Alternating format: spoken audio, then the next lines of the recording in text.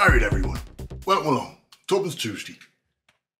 So, critical thought, right? I kind of dropped it right in front of you last week, just as a, an introductor, kind of a, hey, this is something we want to think about, we want to talk about some more. But we didn't really explain why. So, why is critical thought such an important thing, right? Because I know what we've been talking about. You know, we've been talking to you about oh, all sorts of other stuff, all sorts of other things. So where does critical thought come into it? Right? The fundamentals of critical thought is it's that peace of mind that's saying, is this really right? Is this right? Am I right? Should I go away and check? Right? And it can come across as uncertainty. Okay? So you need to be you need to be careful that there's because there is a difference between critical thought as a process and uncertainty as just a way of being. So, critical thought as a process is about reasoning and evaluating, and then being able to use that to hypothesize and evaluate your solutions to a problem, really, isn't it? Yeah. And then, lastly, once you've decided on that, it's actually the execution and then the evaluation and the, and the analysis of the success. Okay. So it's a hypothesize, evaluate, execute, hypothesize, evaluate, execute. And that becomes very much a cycle in how you live your life. That you kind of looking through hypothesis, you know, why is this happening? What why? You know, so why? Not just accepting, oh, this is the case. Well, why? What why is that the case? You know, what what, what do you mean? Why? And that just why is is vital to critical thought. It's the kind of the tenet that it all hangs off. Why? So now we understand. Well, why? why? Why are we looking at this? I hear you say. Why? Mm, why are you making us look at this, Ross? Why? Okay. And the reality is, it comes down to one very simple concept critical thinking versus bias the idea of general versus specific. Okay. And that, this is it. This is everything we've talked about in like multiple weeks of videos where I've tried to get you to understand and challenge your own biases. And the reason for the challenging is that's to introduce you to critical thought. Because bias is by definition, it's experience based, okay? But it limits you in what you can do. It limits your capability because your experience is telling you in this situation, this will be the result. So I don't need to do anything. Right? Or this is what I need to do. And it can be positive, it can be negative. Right? Because bias is positive as well. But no one looks at it and says, oh, bias is positive. But your expectation, like, oh, do you know what? If I go here to this restaurant that I know over the other ones, I'll get a meal I like. Right? There's that's bias by definition. Okay, you're ruling out other restaurants because well, I like that one. I'm just going to eat there. I like that. I know what I'm going to get. Okay, and no one's going to challenge you on that. But if you start saying, I don't want to sit next to a black person, or I don't want to sit next to that person, you get challenged. But the fundamentals, the root of it, are the same. And that's the key, but that's what you need to understand. I'm not going to tell you bias is bad because bias in itself is not bad. It's a generalization tool that enables you as a human being to go through life and to be able to gauge what will happen as a result of an event. Okay? This will lead to this, this will lead to this. And I don't need to think about it. I don't need to engage my brain. I can get through life with it. It's a very good generalization tool. It is part of the human toolkit.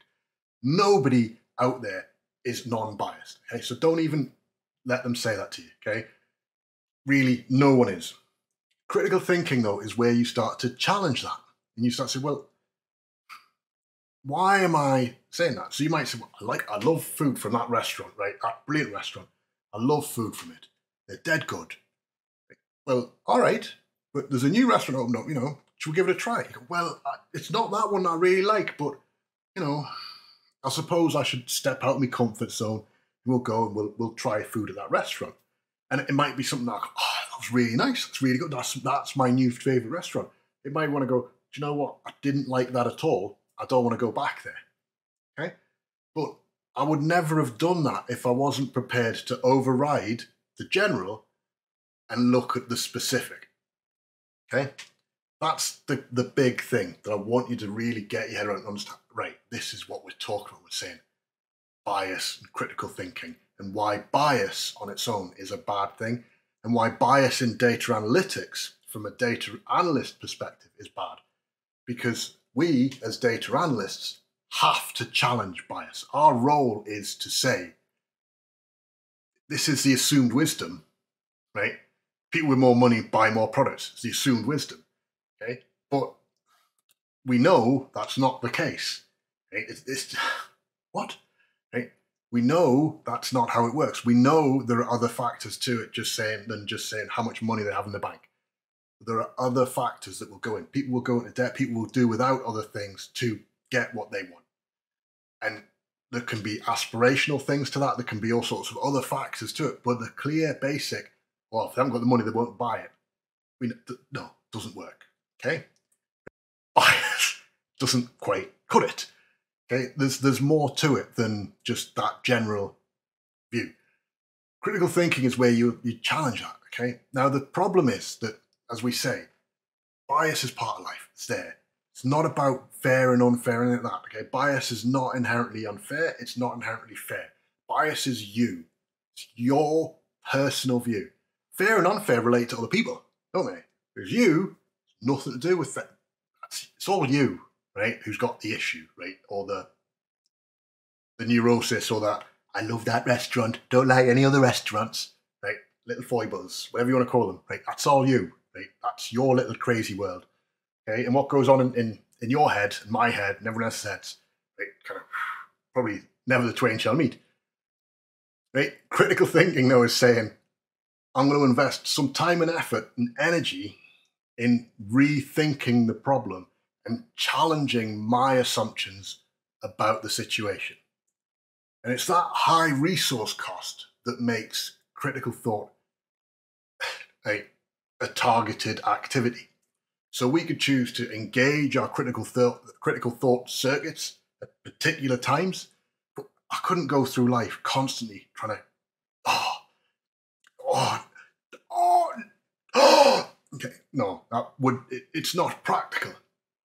Okay, so I have to acknowledge, you have to acknowledge, we all have to acknowledge that a certain portion of our life will be given over to bias. Okay, and it just it just is. There's no okay, to it. It just is.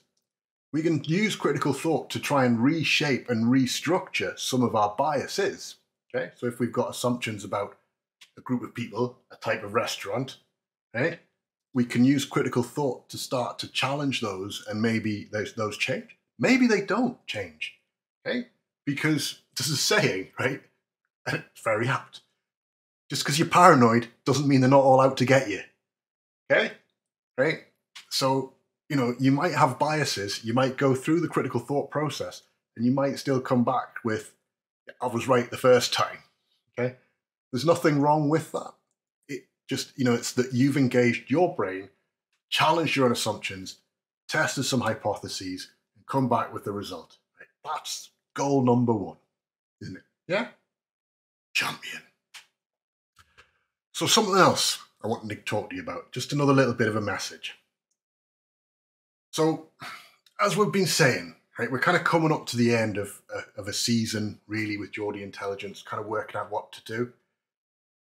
For me, I've got other commitments that I need to be doing more of now and spending more time doing. Like the consultancy side of the business is pretty flat out right now as we're coming out of COVID. I do need to get some more staff on board. I do need to do some stuff. Geordie Intelligence, if I'm hand on heart honest, it's not been doing as great as I would like. You know, it isn't paying its way yet. So it's still something that I can't prioritize as much as I would like. Right. But it is something I do see the value in. So I'm going to keep investing my time and effort and money into it. And I hope you will keep coming and keep joining and the channel will keep growing. And eventually it'll start to pay its own way. Better, I have to say. Right. So what I thought we'd do, because I'm just rushed off my feet now, I'm probably going to be until Christmas at least, is I'll drop back probably to one video a week. and we'll try and make that a more technical video. I'm going to say technical because I'm, I'm aiming to get into the technical sides of Power BI and that. And for those you go, well, how come you don't, you don't do like a basic video? I don't do stuff because if you go to learn.microsoft.com, right, all the material that you need is available free, right, to get you from zero to hero in Power BI for free. Right? If you want to sit the exams there, you can sit your exams, get your Microsoft certification. It makes no sense to me why people are looking for new introductory courses, all these places setting up, oh, I've got videos here, learn Power BI in a day. Oh, oh, oh, right? Honestly, it's there. I can do it, okay? And I, I'll be honest with you, I'll do a mean course in terms of taking you from zero to hero in Power BI. Can start to talk through it.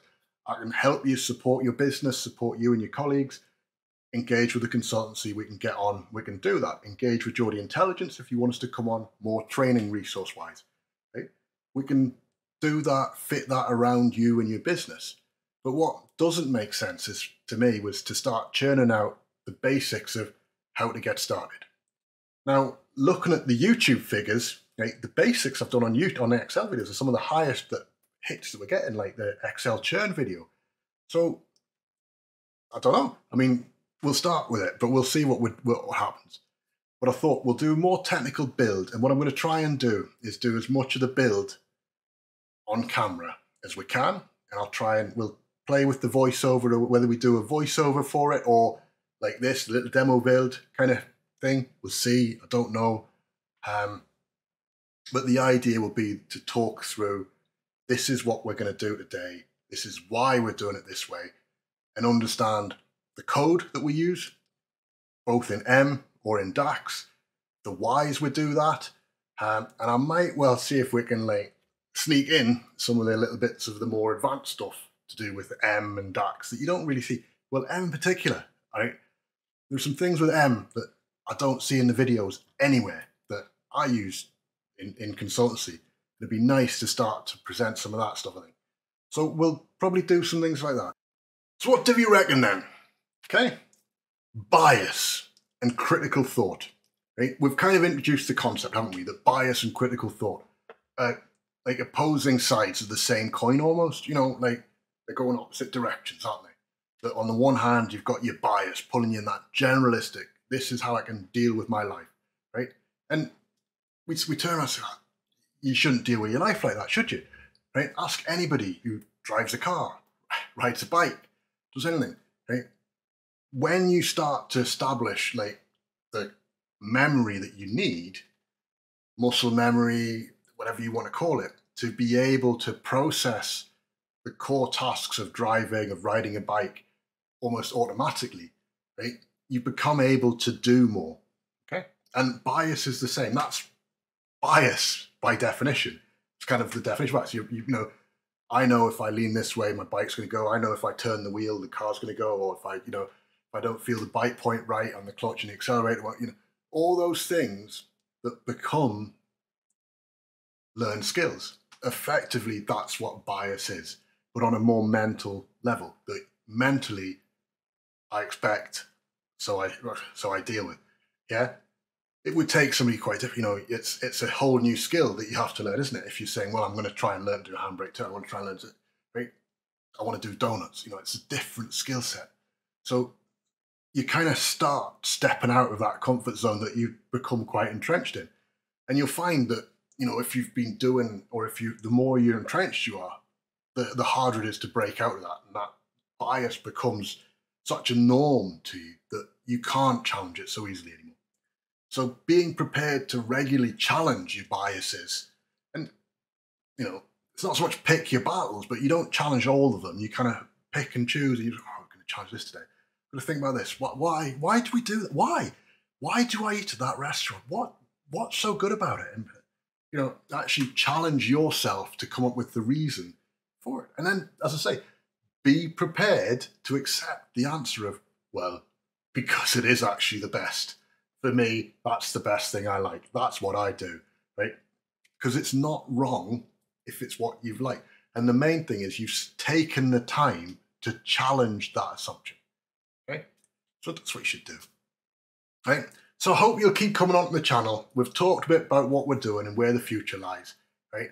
We're going to keep going. We're going to keep making the content.